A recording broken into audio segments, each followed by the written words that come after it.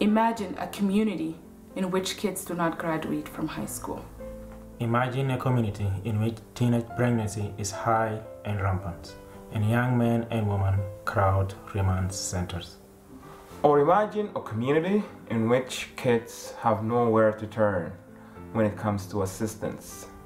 Assistance with English and culture. Homework help in math and science. Meaningful cultural values and mannerism. History of our people and country of origin. Bullying and the lack of pride in who they are. A community like that is a community that is doomed to fail by all accounts. But that's not the community we want. We want a proud and prosperous community. There are lots and lots of Hooper clubs for students. Elders are ready and willing to advise the young. Young people respect their elders and their culture. Young ones finish school and become teachers, engineers, professors, or anything they want. There's no teenage pregnancies or crime-prone young ones. Kids and young ones are proud of who they are. Now, that's a beautiful community.